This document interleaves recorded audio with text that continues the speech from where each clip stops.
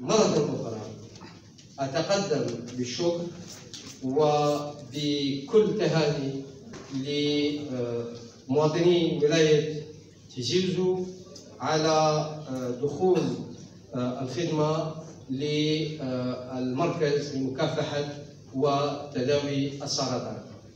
وشكرا مرة أخرى وأنا سعيد بأن السيد الوالي الولاية يقدم لنا كلمة لما آه، تطلع آه، في هذه الزيارة آه، مع مع معي. السيد